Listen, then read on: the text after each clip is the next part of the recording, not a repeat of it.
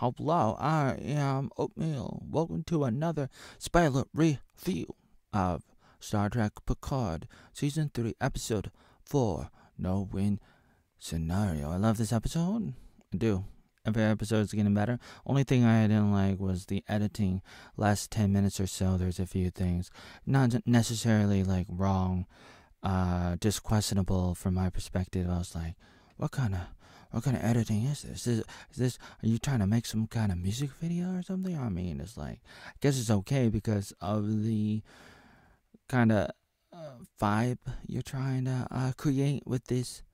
Because I felt like I was um, in a different kind of genre kind of thing, not necessarily uh, wrong, but it was just a little bit um unexpected like it didn't go with the the rest of the episode kind of thing. It just kind of kind of uh, struck me. There was just a few a few points uh or i'm not really sure if if it was a maybe it was a bad uh copy of the episode that i got or maybe it was just a bad edit. Uh, but other than that i um really like the characters and let me show you uh the highlights of this episode.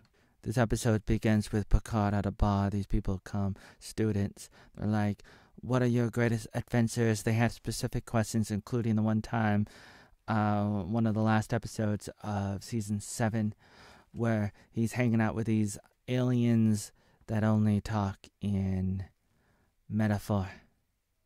And he had to say something. He had to do, like, he had to go uh, do a ritual thing with this other alien guy on a planet, and he had to say these weird things like Saichu Momoto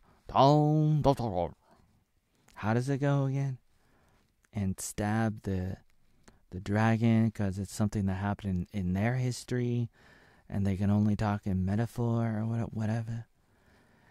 And if you look in the in the background, Jack is is back there the whole time like you can actually see him. I love you. But I'm trying to eat my lunch. I thought you were a robot. You know what I to eat. Oh, you got that wrong. But Data said. Never mind, Data. Data's my pet now. Present day. They're in a no win situation. They're falling from heaven. They're running out of options. Riker's talking to everybody about what they can do. Riker gives up as the captain. It's in a book. Reading Rainbow there's the dot of LeVar Burton. And uh the guy with the what do you call it? Glasses. LaForge. LaFork? No, LaForge. So uh they only got a few hours to live. Unzakalaga. It reminds me of Power Rangers, the movie, when they hop into the Zords. Riker goes see Picard and says, You know, you're right. We should have fought. But you know, you should go and talk to your son and get that all figured out before you die, as we all die, because we're all gonna die. So they have a heart to heart. No win. Meanwhile, James Bond, 7 Eleven, is out there. She's trying to find the shapeshifter. Where is the shapeshifter? Well, you gotta go get the pot of gold. You gotta go get the honey pot, go try to um, get the uh, shapeshifter to come out to you. That's what the uh, the the captain said. The other captain in his quarters, like, yeah, you gotta go do that. You gotta go, gotta go get them out. Get them to, you know, they're gonna they they, they like to um live in a pot, almost like Winnie the Pooh. So I'm not that kind of, you know, not the kind that you smoke, because I'm not allowed to talk about that on YouTube uh, they they delete my video. Not important. Um, because they're about to die. They're gonna they're about to be deleted. So she's trying to draw them out, trying to draw out the shapeshifter. Ooh, scary little shapeshifter. Come out and play with seven. I don't have big boobs anymore, but I'm still pretty feisty as an older woman. Yeah, I'm a MILF. I bring all the shapeshifters to the yard. Here comes Picard. Hey, Bev, I'm gonna take my son to the holodeck. This is the part where Picard, I mean, no, it's seven. oh, you know, this guy, he has like a knife in his hand. Is he gonna do something to himself? Riker's trying to write a love letter, I mean, an audio to his wife, to his wife, Deanna. So Will is like, hey, how are we able to, like, be in the holodeck? The first reality world, you know, the metaverse of Facebook. How are we able to do this? Because, like, well, there's an independent, like, uh, power supply for this, and it's there in this event so that people can come in and have a good time while the while the spaceship blows up. Will's like, oh my god. And uh Picard's talking about a story and it sounds like Will already heard the story about his life, something that happened long long time ago. And he's like, Oh, I'm stealing a ship and I'm doing this thing and then hanging out with these girls and Will's like, Oh, you're doing that to uh to get laid and Picard's like, nah, we get uh yes, but like we're we we had permission. You see? You see what I'm you know what I mean? And uh you know, I would have I would have named you Will too, because that was the name of Crusher's former husband, Will, Will Crusher. And you know, he was my friend. Yeah, he was my friend, so I would have named him named you Will. And you know, I want to know why uh why didn't we meet? Why did I mean, why did you never like try to be part of my life? And that was the question that he didn't answer. You find out later it's because he did.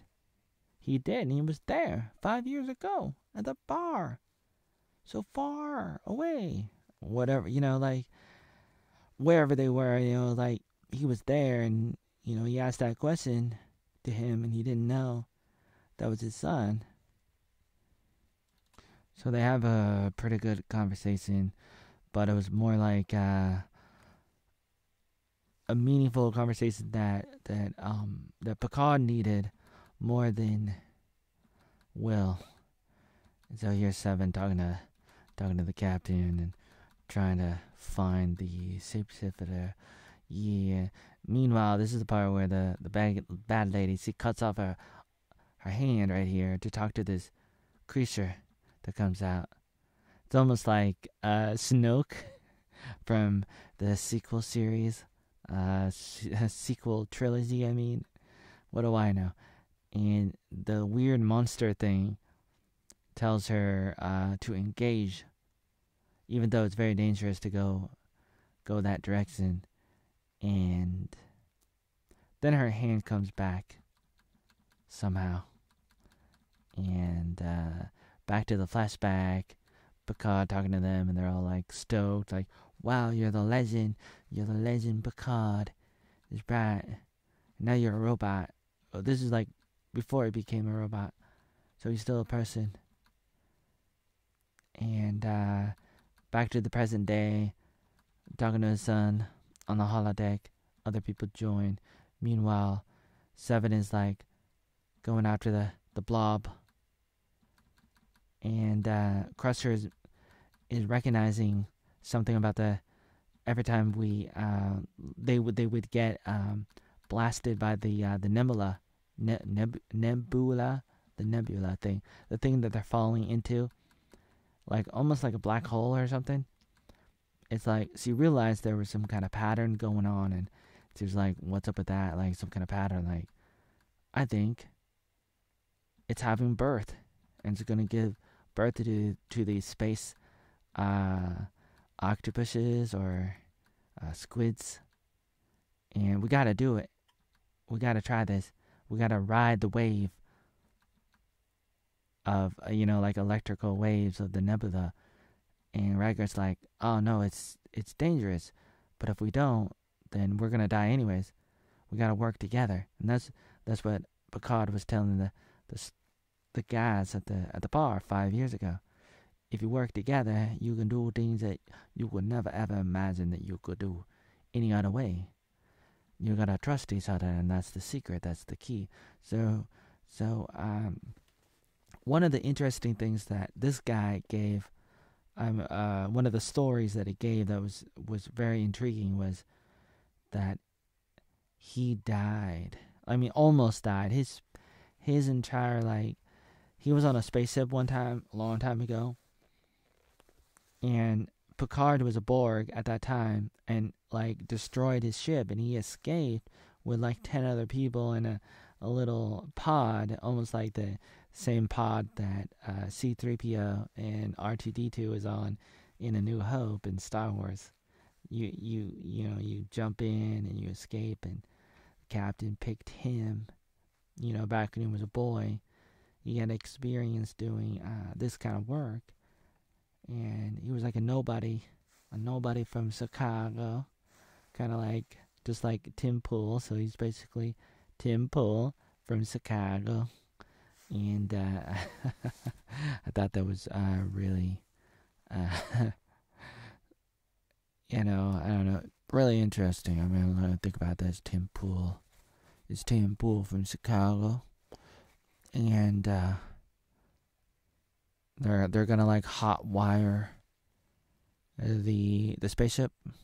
It's almost like Home Improvement with Tim Allen all over again. I apologize for my appearance. I really don't like the way that I look. But when the whole world is blowing up, when the whole universe is blowing up, it's almost like it doesn't even matter. I mean, like, think about that. Seven is like, we need your help. You little grease monkey. You little grease monkey. I used to be called a monkey. Ugly monkey and ugly mouse in, in Vietnam. But you know what the guy said? He's like, give me five minutes. I mean, it's like, we're all gonna die. And what? You need five minutes to what? Change your clothes? Who cares? you don't need to do that. What are you doing?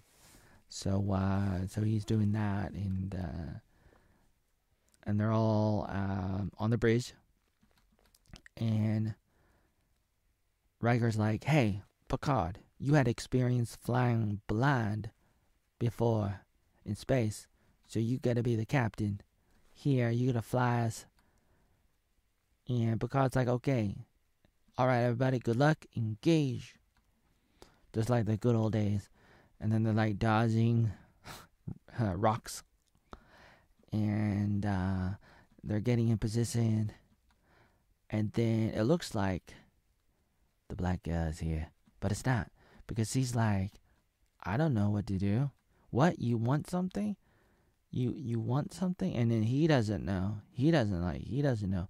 But she's like, she realizes, hey, you don't even know my name. You call me by my other name. You got you gotta you know you gotta you gotta call me nine seven of nine Commander nine because that's what you called me last time. Last time you did. She's like, what? What's what's your name?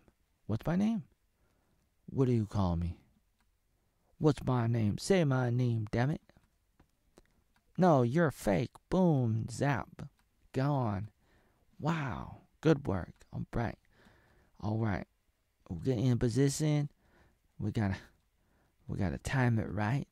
We gotta go 88 miles per hour to get this time machine to work. Ready on my mark. Ready? We gotta dodge this rock. We go round. Yeah. Easy does it. There's a bald chick. Why is he bald?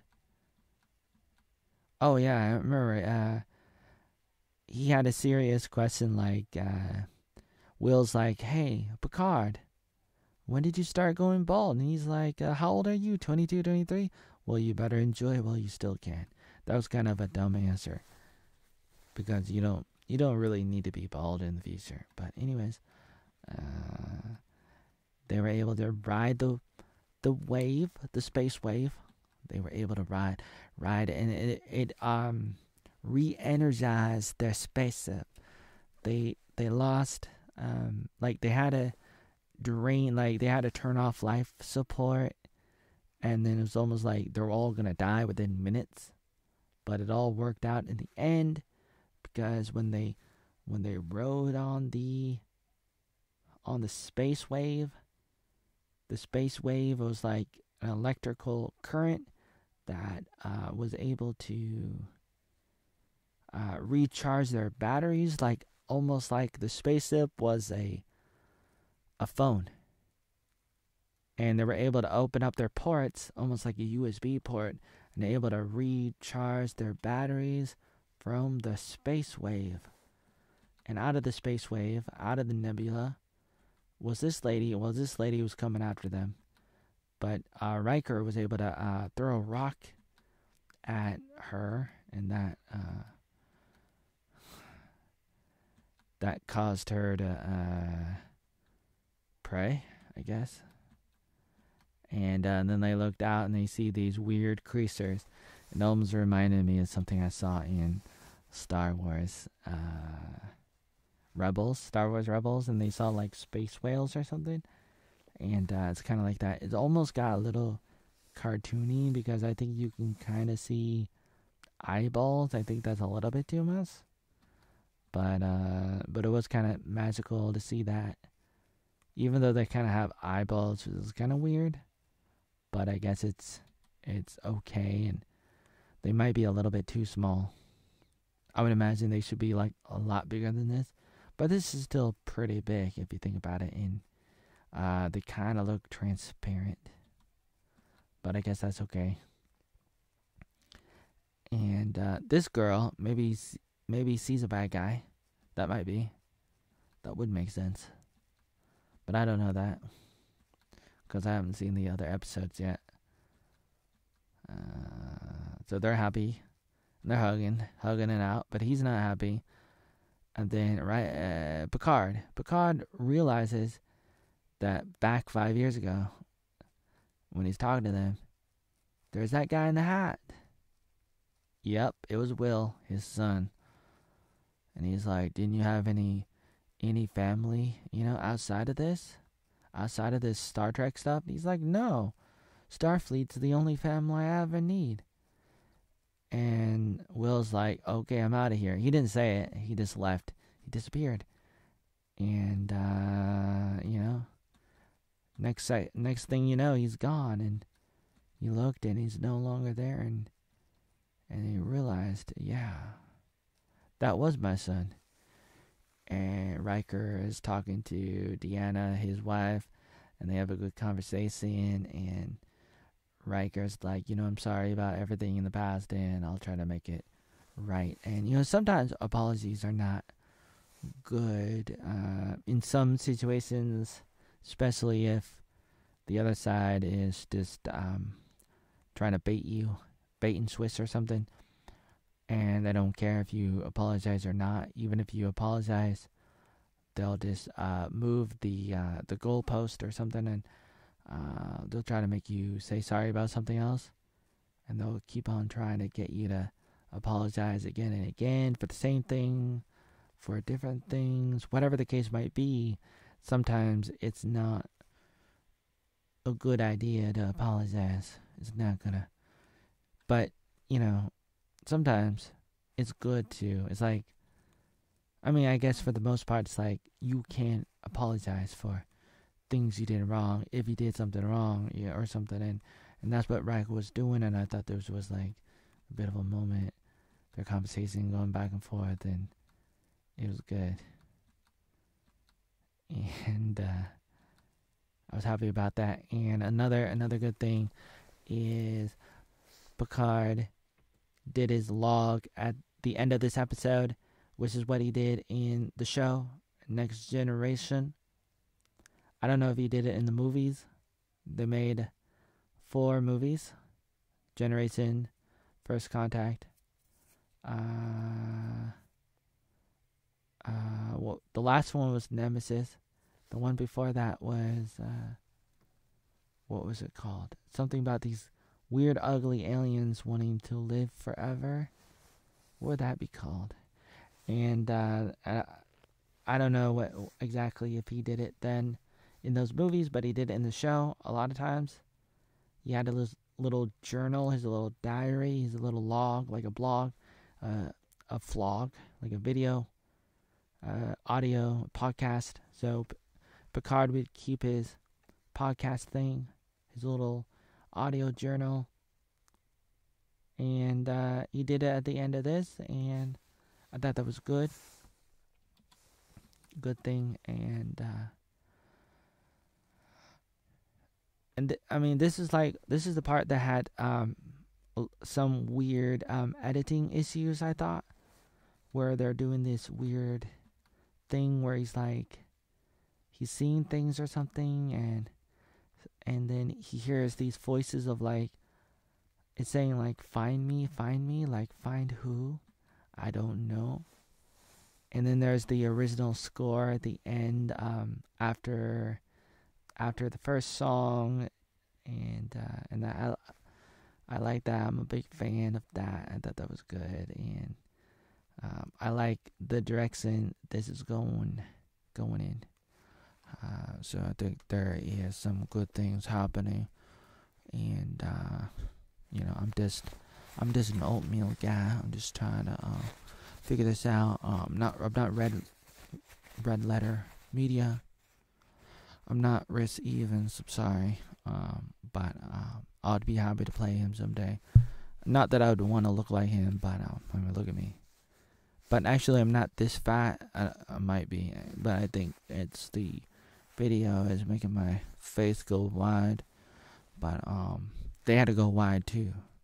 Picard and his friends, yeah, they had to go wide and stress themselves and work together and trust each other, and that's what made it made it work. And that's what you gotta do when they go and get stuff. And um,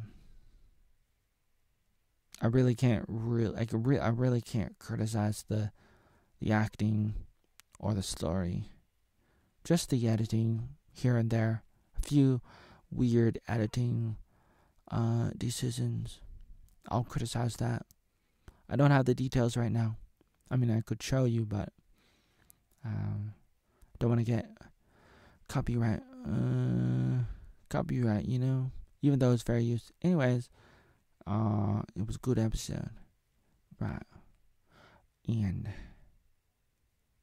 sometimes what you say will be used against you and will hurt you, and I know that. Um, like I kind of know that. I talked about that.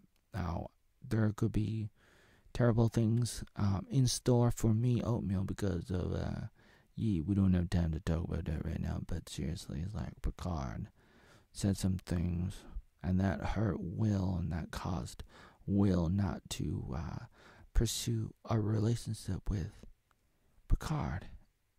Had he, had he uh, not said that, Will would have been in the first two seasons. Oh my, that's too bad. And so, sometimes when you think you're just saying something harmless, like when I called a girl a dog or ugly. Oh no, you actually look like Natalie Portman. Take me back, Jeanette. Jeanette Whittaker, just kidding. Am I kidding? What am I saying?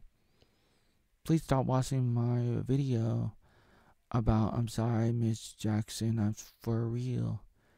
That has over 50,000 views on TikTok, but it's a terrible video. And then they took down my my video that talked about beards, it was actually just a 20 second video that TikTok removed. The video had three people. One of them was Owen Shroyer info was Alex Jones. I hope saying these words do not uh, get this video flagged. It's possible. What what can I say? I'm like a spaceship and I have to go down with the ship with the Titanic and uh and then in the end maybe I'll come back stronger and better than before with space whales and space squids. And it's all right. It's all right. Because when you're itty bitty, it's okay. Especially if you have a karaoke machine that we must have got in 94 or 95. Then you can play some Weird Al songs. Be weird and freaky. No, I don't. I didn't know what that meant. I'm sorry. To disappear on me. So TikTok removed that beard video. It was called Just a Beard. I uploaded it to YouTube and Twitter. It's alright. TikTok is worse than YouTube, who deleted my 10,000 plus videos. YouTube did that. YouTube removed them. It devastates me. It's like, you know what my YouTube videos are? Is like, they're my will. They're my will to survive. They're my will. My will crusher. My will Picard. It's all I got. It's all I know. Kiss me. I'm too young to die. Too young. Am I? It's hurting. So please don't tell. No, is it? I don't think so. I don't know. I don't want to go and get tough. Like tough gets going. Do you have? Do you have what you need? I'm happy about these episodes, and so when I'm watching this, I'm taking it in, cause it's like five movies. It's like five movies, and it's like I'm gonna I'm gonna enjoy this. Well, I still can. Uh, Gary at Nerdrotic might be that this might be the last good Star Trek we ever get. Outside of like fan films. You still got that, alright. Anyways, I'm Oatmeal Joey Arnold. You can like me. Follow me at VN on social media. I'm everywhere. I do a daily blog. Till next time, kids. Uh, eat your oatmeal. Ha ha ha.